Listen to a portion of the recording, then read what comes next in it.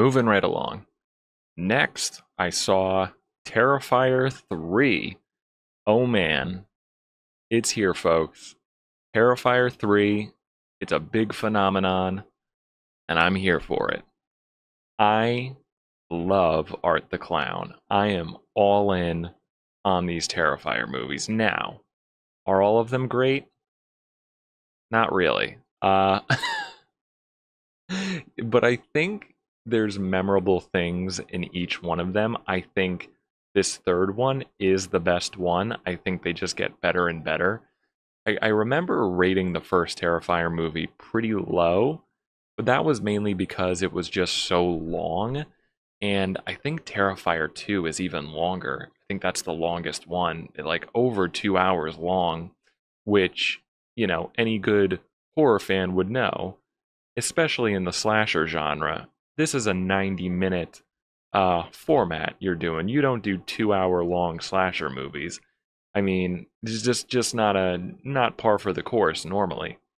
But yeah, um, I just think, you know, I just what I love about slashers is I don't think they're you know, I don't see them as regular horror movies. I think slashers are, you know, for my taste, they have kind of an over the top, almost ridiculous, almost comedic edge to them.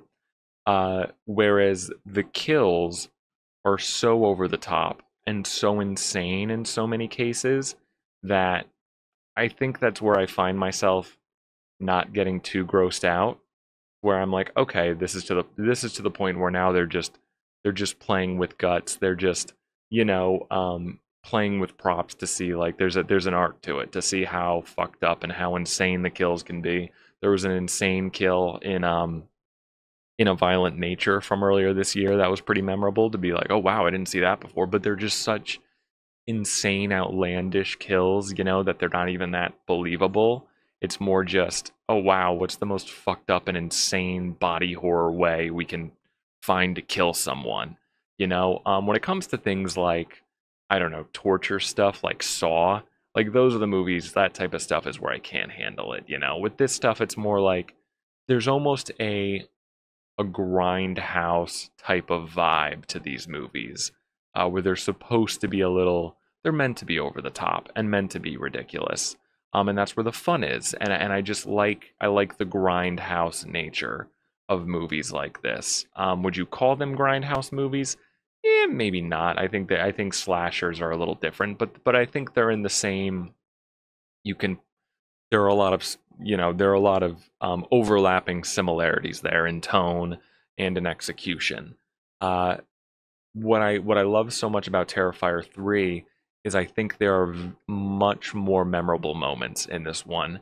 The idea of making it a Christmas story, and that's what I think Art the Clown, why he makes for such a great horror villain is, you know, the whole idea is that he's he's he's like a mime, you know, he doesn't speak and he emotes and the performance of uh you know, whatever his name is, um what is his name? David Lee Damien Leone is the director. Art the Clown is David Howard Thornton. Um, yeah, he's great in these movies. Um, such a physical performance, like literal, he's literally playing a mime where he has to give all these facial expressions. And what I love about Art the Clown is you kind of just see things from his perspective a lot of the time in these movies. You see him like going to figure out like his next like all right, how do I fucking kill these people? Like you see him like just take I I will never not laugh at seeing Art the Clown like just get on a bus or get on a subway with like a fucking some garbage bag full of like torture tools or body parts and he just like sits on the he's just like a I love that we see things from his perspective. Like he'll get annoyed with like his sidekick. He's he's he's literally a cartoon character um and that's what I find so amusing about his character. Um it just just the opening scene in this movie terrifier 3 was such gold. It was such gold when when he goes into the kid's room they're like julian i told you not to come into my room and you just hear well well well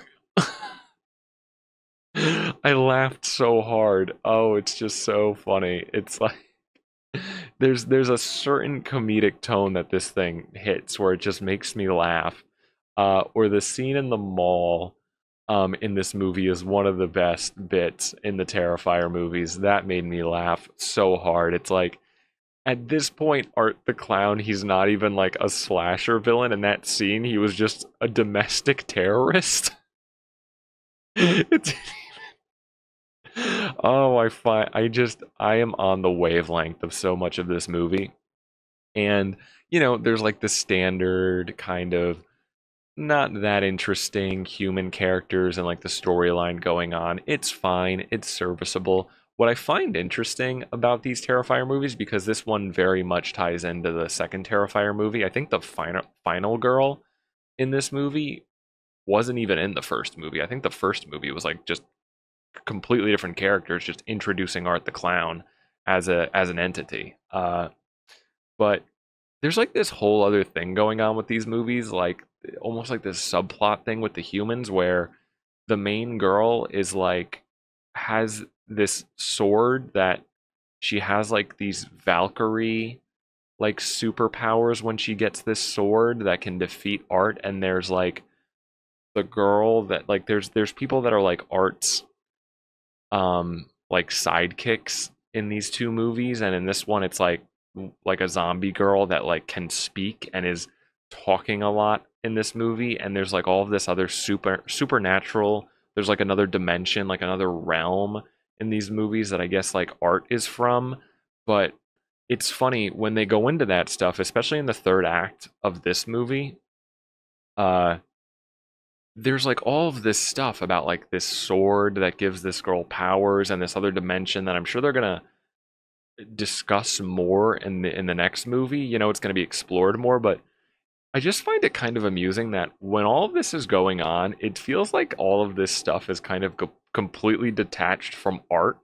Like the girl, the his evil sidekick girl is doing all the talking and there's all this stuff with this sword and this evil dimension stuff and it feels like none of this really like I guess art is from this other dimension, but he just seems like he doesn't give a shit about any of this stuff. He's just like standing there in the corner in the third act of this movie like, "No, I'm just trying to fucking kill people like a cartoon villain. Like I don't I don't what what is all this other stuff with this sword and these Valkyrie powers? Like I don't even know what's going on with that stuff.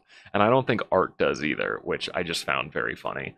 Uh so yeah, the, so much to love in this movie. The bar scene, just where he's just fucking with people, and there's it's just comedy, man. It just art is a very a, he's not Michael Myers. He doesn't look like you just get to spend time with him, just fuck with people before he kills them not even in a torturous way. It's just he's he's like genuinely excited to see Santa Claus. Uh and then the shower scene, which was like a, a legit uh slasher movie scene. And like there are some parts where I gotta kind of look away a little bit. And I'm like, oh god, this is what they're doing with this kill. Ooh, okay. Um, but pretty quickly, it's just okay. This person is not even like this person is so mangled um and dead. It's not even a this is a guy just playing with flesh at this point and there are parts where i'm like okay i can't really handle that but uh, you, you, try to tell yourself okay it's just it's just like like he's he's playing it, there's a there's supposed to it's supposed to be so over the top i think i'm i'm trying to get on the slasher fan wavelength a little bit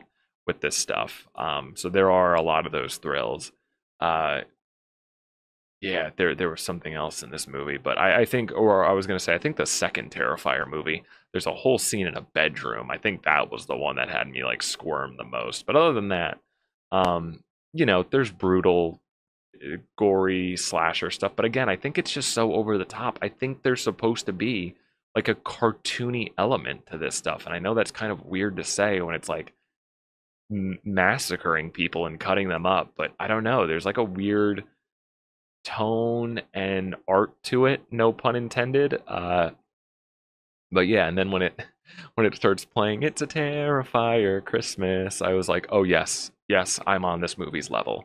Uh, again, just really giving me those grindhouse vibes. Uh, you know, but but in the form of like a legit slasher movie. Um, so yeah, this was this was one of the stronger movies I've seen this year. Again, it's too long. These movies aren't amazing. Uh, mainly, it's mainly I, I, go for the there's memorable bits in each one of them, and I think this movie has the most of it. Um, I think this movie being a Christmas movie, I think they use that a lot to um, its benefit. I think they could have done more with it, but I think they do a pretty good job of just art wanting to be Santa Claus. it works so well. Uh, so yeah, it's such a great character. I, I love I love these Terrifier movies. Um, I can't wait for another one. Um, just like a midnight movie, just such a fun midnight movie thing, you know. Um, so yeah, that is that's Terrifier three. Um, you know, it's it's up there with one of the better things I've seen this year. It's different. It's it's scratching an itch of a genre that we don't see a lot of big productions out of. So really, really excited about this franchise. So yeah, that's Terrifier three, best one out of the best one out of the trilogy, uh, out of the series so far.